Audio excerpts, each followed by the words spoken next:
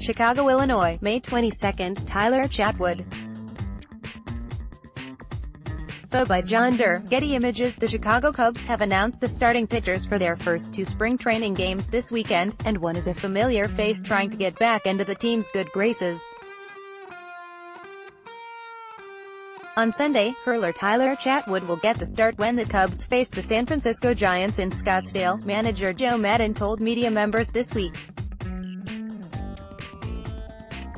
Chatwood, who is coming off an abysmal 2018 season in which he went 4-6 with a 5.30 ERA and walked an astounding 95 batters in just 24 outings, is hoping that mechanical changes will help bring him more success in the coming year, and the team says they will use him as a starter in the early stages of spring training. Tyler Chatwood reveals his goals for 2019 The Cubs also announced that pitcher Jen-Ho Tseng will start their Cactus League opener against the Milwaukee Brewers at Sloan Park in Mesa. The hurler has pitched in three career games with the Cubs, posting a less than stellar ERA of 9.00 and striking out 11 batters in eight innings of work.